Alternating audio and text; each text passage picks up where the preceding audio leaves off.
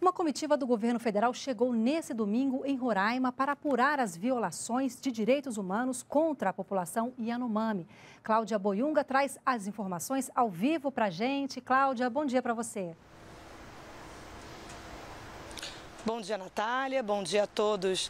É isso mesmo, a comitiva do Ministério dos Direitos Humanos e da Cidadania desembarcou em Boa Vista neste domingo e fica até quinta.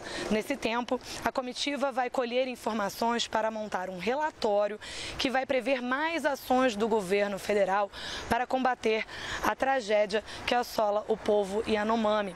A comitiva também pretende apurar as responsabilidades e entender como a situação chegou a esse ponto. Nos municípios que perpassam o território Yanomami, os integrantes da comitiva também vão mapear equipamentos públicos, locais e as condições para receber o apoio das políticas públicas do governo federal.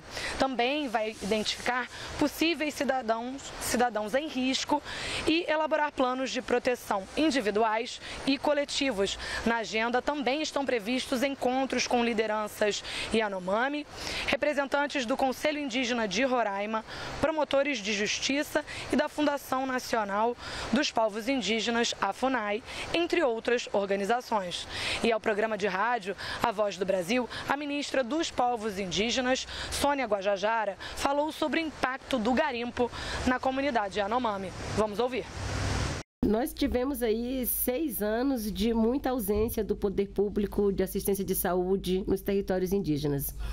E a Nomomi é uma pontinha do iceberg, né? E diante de tantos casos que estão ainda invisibilizados. O, o garimpo impede os indígenas de circularem no território para buscar alimentos que vêm da natureza, que já estão escassos por conta da, do desmatamento, né?